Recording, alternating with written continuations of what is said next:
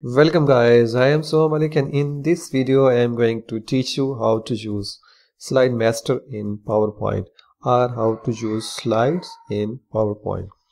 So using slides you can edit your whole document very quickly. You don't need to go to individual slide to make changes. For example, I have created this sort of guest book that was actually a line journal and using Slide Master I have turned all these pages into some sort of guest book so in this video i will be showing you this is how to change this in just one click on all the pages. You don't need to duplicate all these pages 100 times or you don't need to edit each page individually.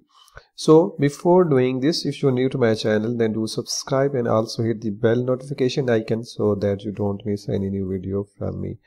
So let's get started. So first of all you need to go to file and create some sort of document like blank slide and control plus a to delete this one and go to then design and slide size custom slide size. And for the sake of this video I will be creating a page of 8.5 inches into 11 inches and hit ok and then ensure fit. So Instead of creating a page here, I will go to view, slide master and from here I will select this very first slide that is title slide. I will click here and control plus A, hit delete and then go to insert and shapes and select this one. This is line icon, uh, line and then go to here. This size is 7.5 as the width is 8.5 I am selecting the line to 7.5 leaving 0.5 inch margin to, toward the both sides. Then click on this line go to shape format and change the outline color to something grayish like this.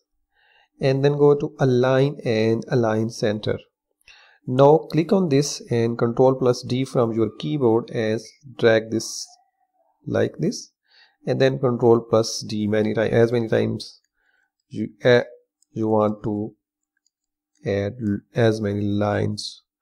So we have made a very simple lined page here and now just control plus G to group it.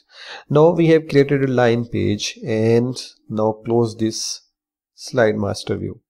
This has been added on our very first page. Now just duplicate this to make 120 pages.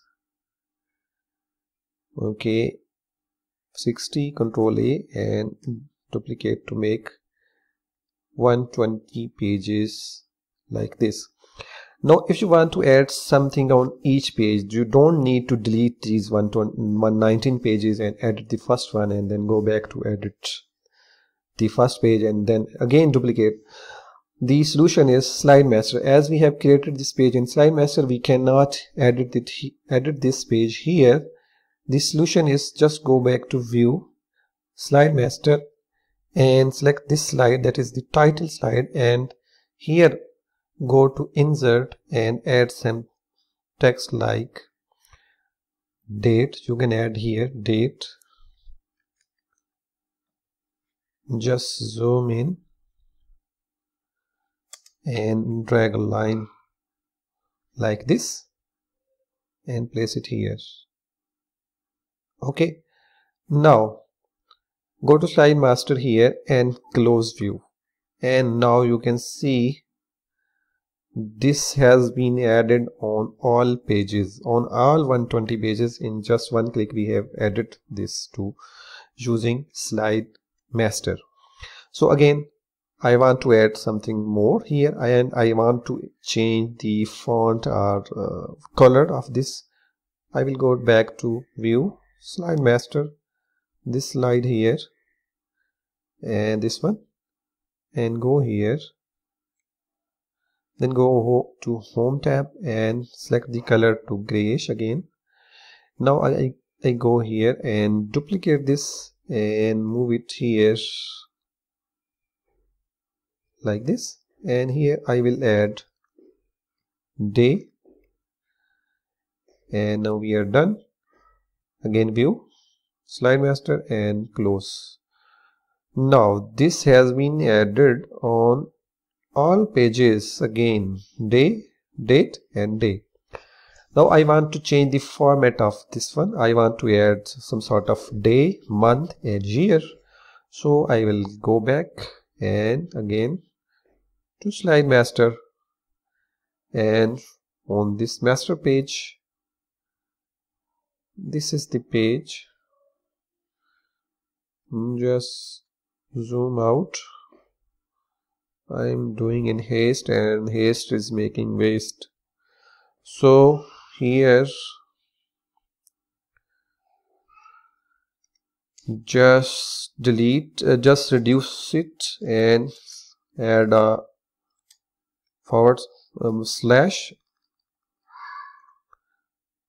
like this and second slash and add a line. So this is day month and year and then close this slide again. Now we can see to have a better look just go to slideshow and from the beginning. And we can see this has been added on all the pages 120 pages in just editing one page. Now I want to turn this simple line journal page into a sort of to-do list or you can say guest book. I will go back to slide master again. This page again. And here I will draw some sort of shape that divides this these lines into half. So like this drag a rectangle shape fill color white and the outline white as well and reduce the size here like this and go align align center and align middle. Uh, no not middle control plus z. No it has been divided into two columns. If you want to divide this into four columns just duplicate this little shape and rotate it while holding shift and it will perfectly rotate it. Then go back to align and align middle you can reduce its size by 8.5 and then click on this again shape format and align center. Now close the master view and again view our page. You can see it has been divided into four four parts. So if you want to add some sort of text then you go back to slide again. It has been changed on all pages. Don't need to delete duplicate them. Just go back to slide master again and from here just drag this one. And you can write here uh, duplicate this one and move it here. To make a to-do list you can write here priorities and you can then again duplicate this one and here you can write notes. I'm just writing it. Is not a perfect to-do list but it is sort of to-do list. Here you can write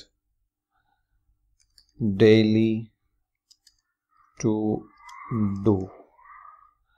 And here you can change this to date.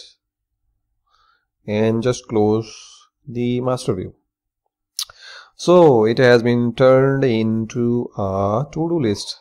Go to slideshow and see daily to do date priorities i am scrolling to next pages and it is not showing that it is changed or not. But here we can see the pages have been changed.